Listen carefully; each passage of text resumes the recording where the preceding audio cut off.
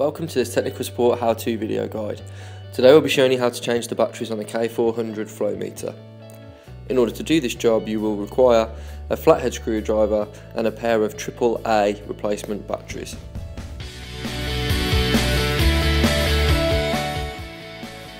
Begin by using the flathead screwdriver to remove the two battery compartment cover screws.